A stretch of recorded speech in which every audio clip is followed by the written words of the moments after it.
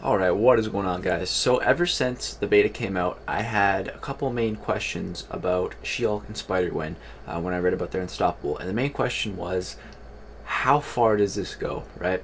The first thing that popped in my head was Aspect of War and Brawl because we had the Captain Marvel quest. Tested it, works against Aspect of War. I didn't test it against Brawl, but I would assume it's the same principle for those. Um, so I'm going to assume it works. Now, that's if you read their ability, that's pretty much all the unstoppables, right? That they can counter. So I'm like, this is sick. There's one other unstoppable I wanted to know about though. Labyrinth Juggernaut. Does she buff She-Hulk's slow debuff and Spider-Man as well counter this unstoppable because it's it's not a it's not a debuff it's an effect so it, it, should counter right? That was what I was thinking. It, this should work. So I went ahead went all the way into Labyrinth here because they finally opened it up in the beta. And really see this so when we bait the special out there should be no unstoppable. But there is an unstoppable. So it doesn't counter Labyrinth Juggernaut's enigmatic unstoppable. Counters passive unstoppables buff unstoppables but it does not counter that.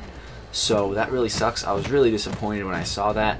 I was thinking, okay, well, can She-Hulk still counter this guy? Like, how, how, how hard is it to get off heavy attacks on this guy, like, in a real fight? Like, let's say I took a rank 5 She-Hulk, you know, I was doing this fight. Like, could I keep the Furies up? How, how could this work, right?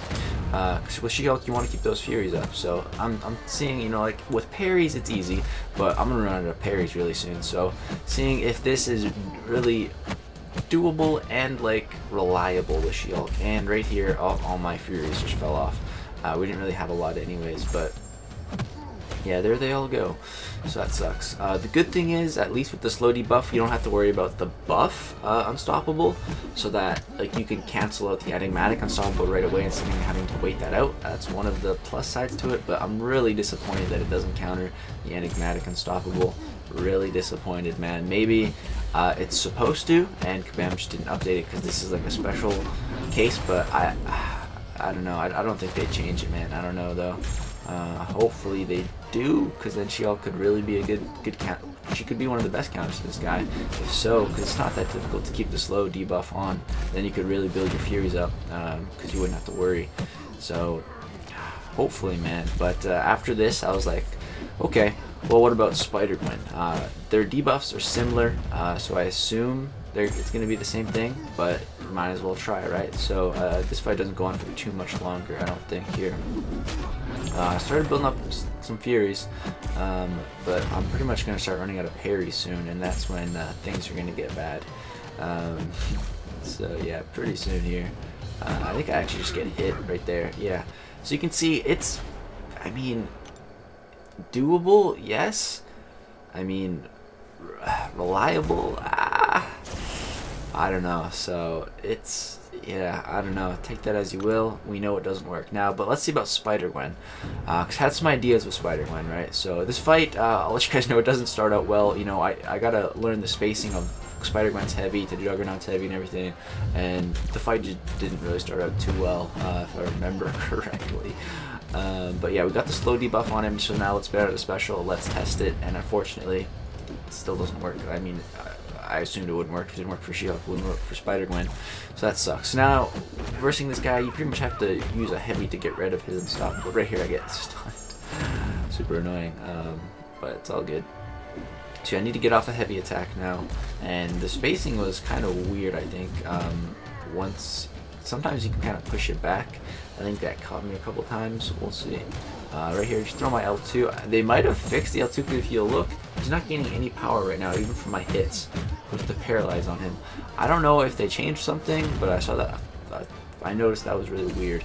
Uh, I think it's Okay, see there, the spacing was good there on the heavy attack, and now here's where Spider-Gwen could actually be reliable against this guy. So pretty much you just put the Enervate on him, and you keep it up, right? You stay super duper aggressive, you Enervate him, uh, right there, got tagged, uh, super annoying. These guys evaded like twice already, I don't know what's going on with him. Uh, evade in Labyrinth is annoying. It's even, it's so much worse on a champion's like Juggernaut, man, where there's actually, like, it's actually already a super hard fight. Um, there's another one. Like, what is going on, man? What are you, Spider-Man? Uh, you trying to be Spider-Gwen's guy? Like, trying to show off? Trying to flex big old Juggy? But uh, yeah, it's pretty much keep those spamming the L1, get the get the enigmatic uh, or not enigmatic, the enervates uh, going. Look at that, another evade. Like I don't know what this guy was on, man. I don't know what was going on. He's really trying to show off for Spider Gwen, man. He likes her new buffs. Um, but yeah, it's kind of hard to keep it up when he's evading. But I think this could be a doable fight with Spider Gwen. Not a solo, well maybe uh, if you played really well and you got kind of lucky too. But like with the the enervates proccing, because it's only a 30% chance on every hit, so you can you can get unlucky. You can also get lucky. Um, on the average, you're going to be triggering one like every combo, which is good. Um, but yeah, like see, like this could work. This actually could work, and uh, if he gets to special, you just use your heavy, and then uh, he won't get the the regular unstoppable. At least if he gets another special, which is nice.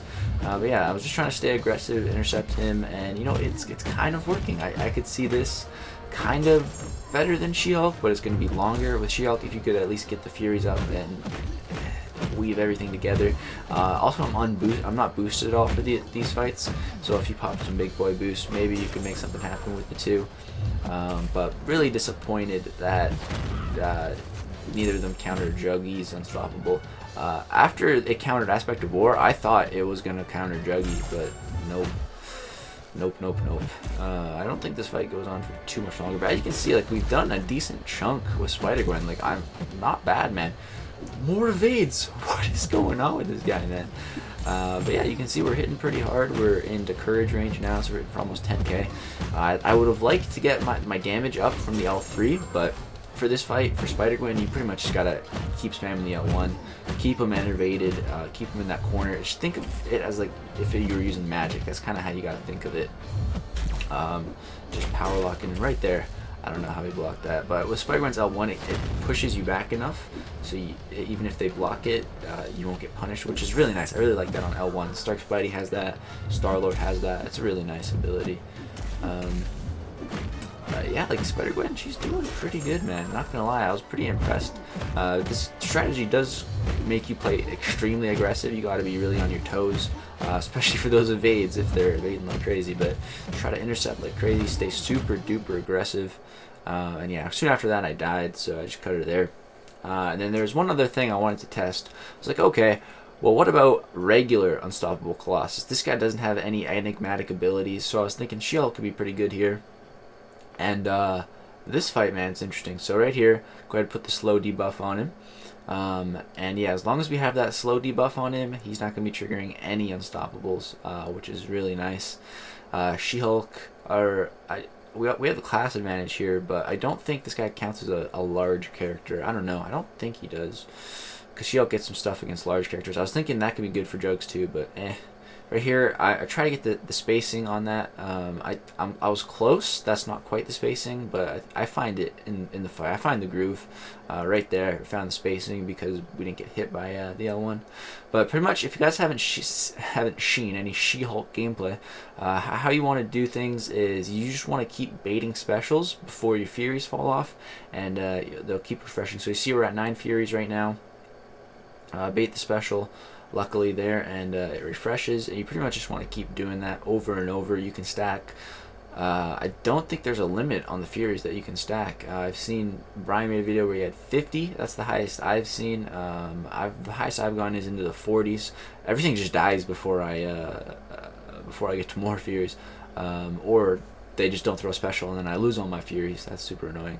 That's happened a couple of times. But yeah, She-Hulk man, her buff man. Honestly, I think they're gonna tone it down. If I had to be honest, um, I after seeing the other people's labyrinth gameplay, after I've probably played like five hours of labyrinth today.